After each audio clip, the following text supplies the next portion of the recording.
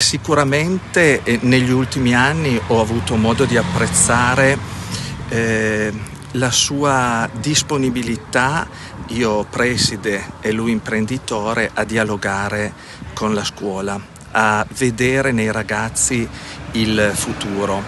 Eh, ho rivisto ieri uno degli ultimi sms che mi ha mandato eh, nell'interlocuzione tra di noi che diceva grazie per l'impegno che dedicate al nostro futuro. Quel nostro mi ha rimandato alle volte in cui è, è venuto a scuola per incontrare eh, i ragazzi.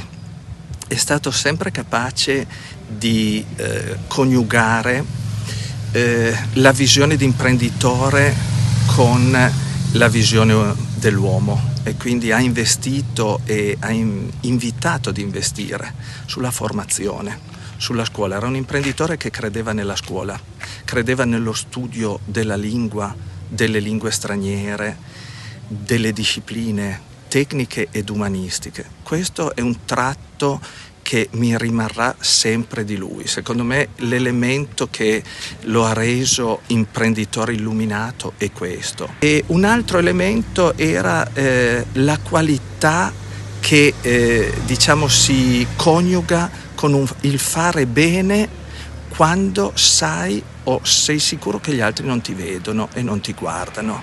Questo secondo me è un altro elemento che dice eh, direi l'affidabilità.